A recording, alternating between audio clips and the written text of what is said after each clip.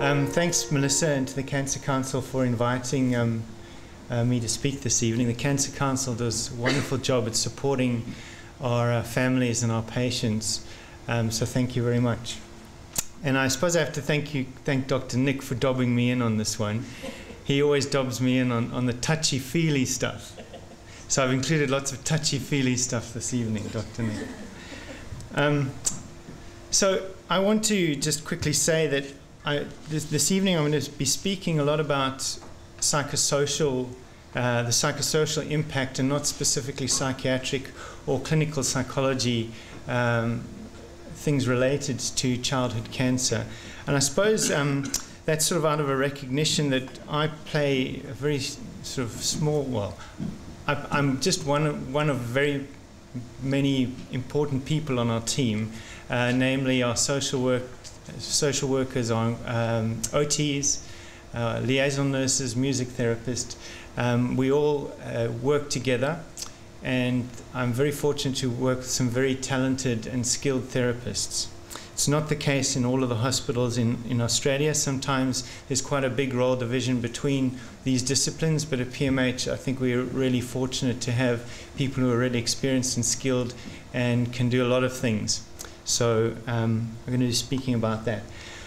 So it's about the child in context. There can be no child without a family. And I suppose that's what I want to keep in mind when I'm talking about psychosocial impact this evening. So this is a, a little model that I borrowed from my OT colleagues. It's uh, the Canadian model of occupational performance. But I really like it because it gives uh, a really good uh, graphical representation of how um, we might experience a child who's been diagnosed with cancer um, at that particular point.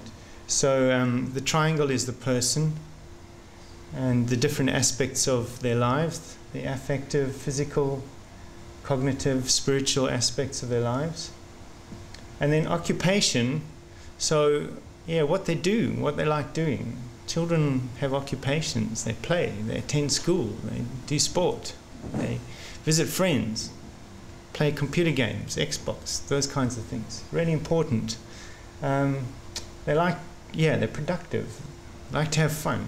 And then also the wider environment of um, the context that they're in.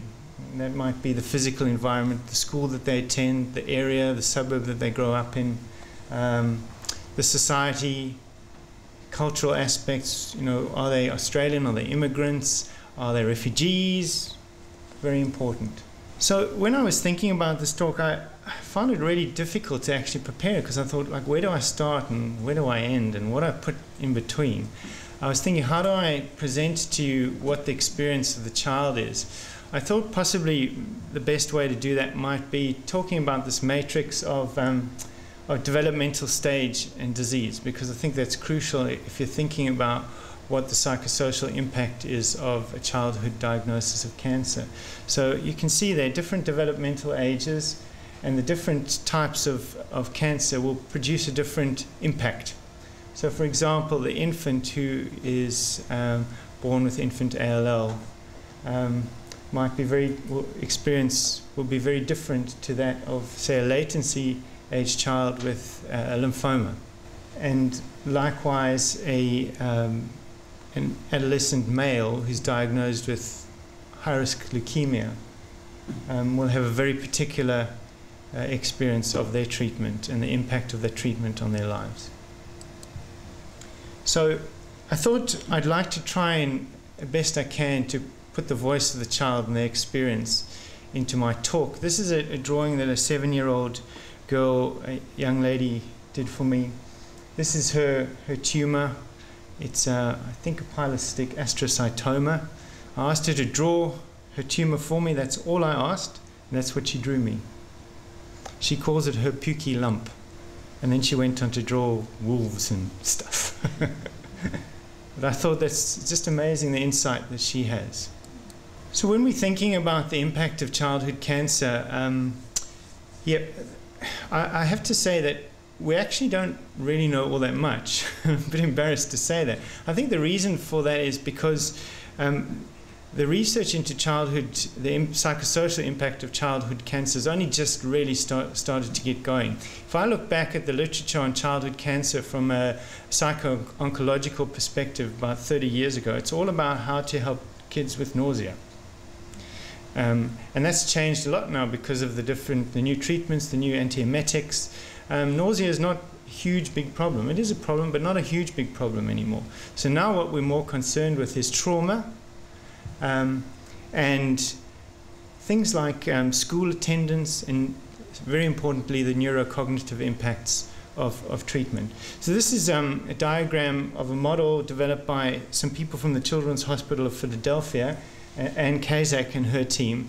Um, what they found, found is they did some research which was very interesting in that it showed that children who are being treated from cancer um, don't necessarily show any more um, psychosocial um, pathology, so to speak, than their healthy peers, which was really interesting for me. But what they did find was that there were very particular risk factors.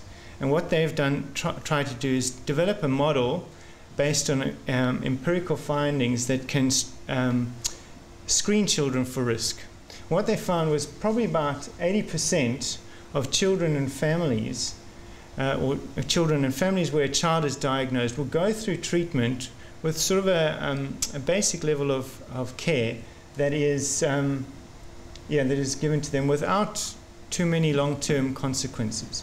But then there will be these group, this group over here, the targeted group, where during treatment they will um, develop particular symptoms. And that might be, say, a needle phobia or an adjustment disorder with depressed mood, um, those kinds of things.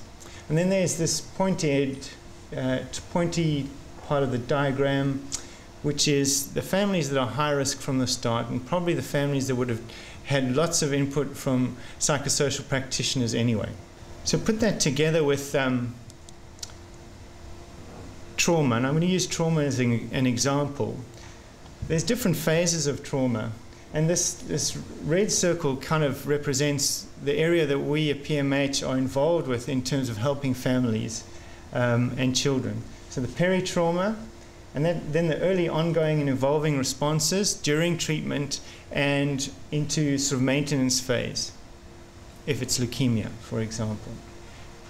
So we talk about potentially traumatic events because not all events or trauma is traumatizing. You know, we know that there's a lot of subjectivity involved with that. And then we tailor our, our, our input according to these uh, different phases. This area, the yellow circle, unfortunately, it's an area where I think we need to do a lot of work on. Dr. Felicity will talk more about that.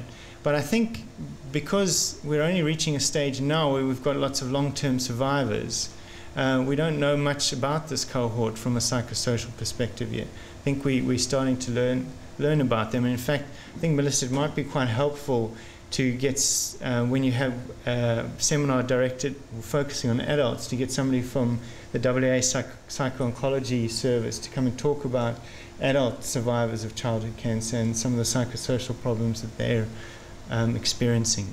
I think I really like this drawing by Escher because I think it symbolizes for me life before cancer for many families. It's nice and ordered, it's got a good pattern to it. And then all of a sudden, their child gets diagnosed by cancer with cancer, and things just turn upside down um, and topsy turvy. That's how they explained it to me. Just another picture. You can see when are they going to stop the, the, the shots? I'm sure. I'm sure. Maybe there's some blood in the big toe. I'm lonely. I wish I was in my own bed. I don't like it here. It smells funny. It's kids. I like this quote because I, I, I often feel for a lot of the parents um, on our ward where they have to make really difficult decisions, where they have to endure um, their children in a lot of discomfort and pain and suffering and children as well who have to go through very difficult treatment. Sometimes I walk past the procedure room, and if I didn't know it was the procedure room, I'd think children were being tortured or ripped apart, and there, there's so much screaming. Not all the time. So when we put all the models together, we hopefully end up with a, um, the, the triangle and the traumatic stress model. We end up with a model like this that just can target various symptoms and presenting problems over time. So this is another drawing. Um, this is a sibling of he at the time he was eight years old, and his sister, who was 15, was diagnosed with an osteosarcoma. This is a journey drawing, and this is him and his sister before uh, she was diagnosed. They're sweeping leaves in the garden. Sister's got nice long hair, brown hair. Here she's had an amputation. Look at his face. Look at her face. That was him when I was talking with him about the experience. And in the future, he said he was going to have attitude like his sister when she was a teenager. Very honest. So, I'd like to talk about some mental health and psychosocial factors um, related to pediatric um, oncology. First of all, in the acute phase, I think what we're going to see is we're going to see things like adjustment disorders, acute stress disorders, and specific phobias, things like needle phobias. It's really interesting. In my experience, in my sort of seven years that I've worked um, at PMH, I think I can only yeah think of one patient that was a young adolescent patient who was diagnosed with a major depressive disorder and treated with antidepressants. And that's the, the, the reason for that is we, that there's quite a lot about this in the, in the literature that most children and adolescents will respond very, very well to psychosocial interventions. It's interesting in the United States, there was a paper last year in Pediatric and Cancer about the prevalence of prescription of antidepressants in, in the pediatric and adolescent uh, oncology population. They found it was very, very high. One of the um, uh, thoughts about that was that they didn't have access to psychosocial care. During the active treatment phase, I think often what I see is anxiety disorders coming out, separation anxiety, so kids that were usually on a that were otherwise on a normal developmental trajectory, individuating, beginning to do the things that year five would do and separate from them, all of a sudden they become very clingy, they have nightmares, they have aggressive behavior. Lots of sibling issues. All of a sudden, sibling feels he or she is getting ignored. Fighting, acting out. During the, ma the maintenance phase, I think, um, particularly, and this would be with our leukemic patients, School is a big problem. We are really, really encouraging of children to attend school whenever possible. And in fact, there's very, very few circumstances where children can't attend school.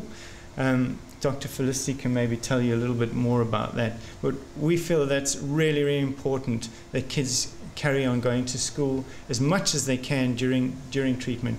We're fortunate to have lovely teachers as part of our team, and they liaise very, very closely with the children's schools. We have a, um, twice a year, we have a, a school, hospital school seminar where we invite teachers from the community to come in and find out about um, treatment and how they can support children through that.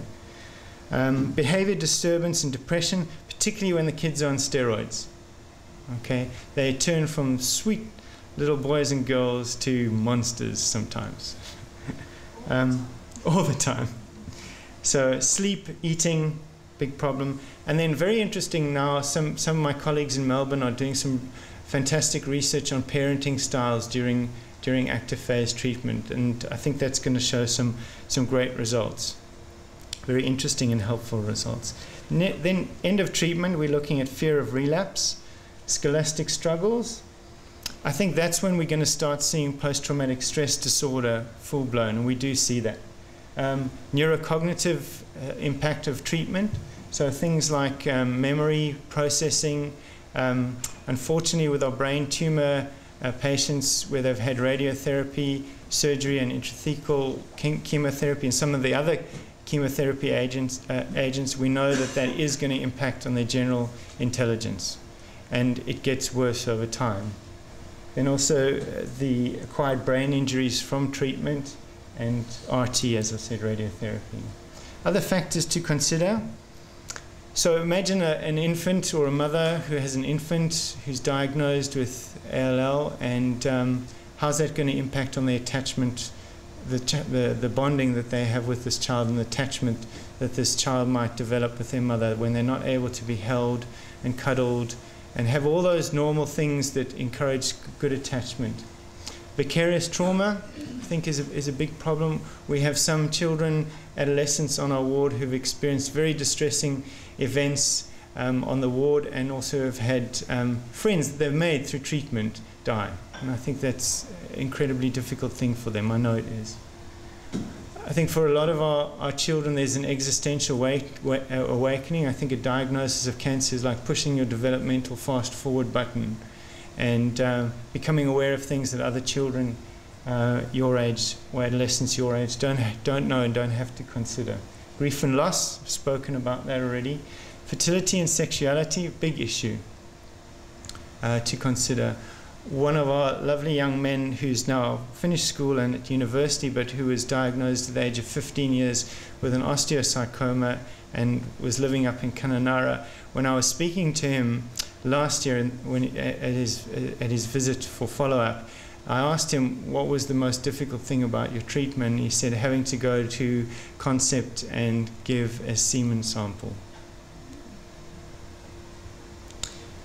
Just a word about quality of life. It's the big buzzword at the moment. Um, it's very confusing.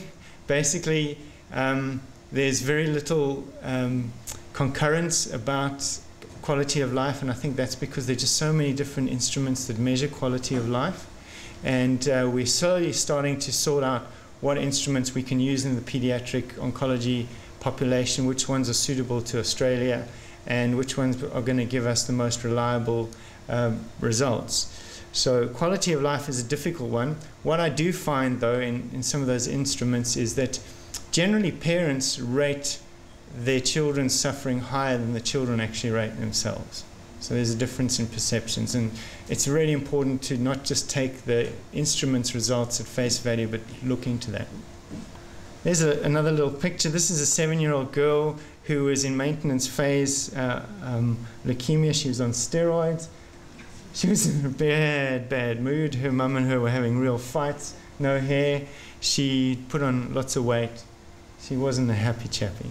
I saw her last week, actually. She was in our clinic. She's beautiful. She's uh, now in year five and uh, long, lovely auburn hair and big smile. Really good outcome. I thought maybe what I would do is just end with a little bit of good news. Um, this is quite a busy slide, so I won't go through it um, completely. But just there's been a, a, a surge in, in research about post traumatic growth, really interesting topic. And what they found is that with children who are diagnosed at five years or older, they report um, high levels of post, well, not high levels, they, they, they definitely report higher levels than their peers in terms of post traumatic stress, but also higher levels of post traumatic growth they feel that they're the richer for that experience. So there is a silver lining to this. And I think this is a fascinating area of future research because it's got to do with coping and resiliency. Also, parents. So, parents who've um, gone through treatment, they also report higher post traumatic, uh, post traumatic growth. Um, but it seems like that's got to do a lot with the sense of coping and um, being able to restore their, their lives and their families' lives to um, sort of a manageable level during treatment. So there's the role for us as psychosocial practitioners.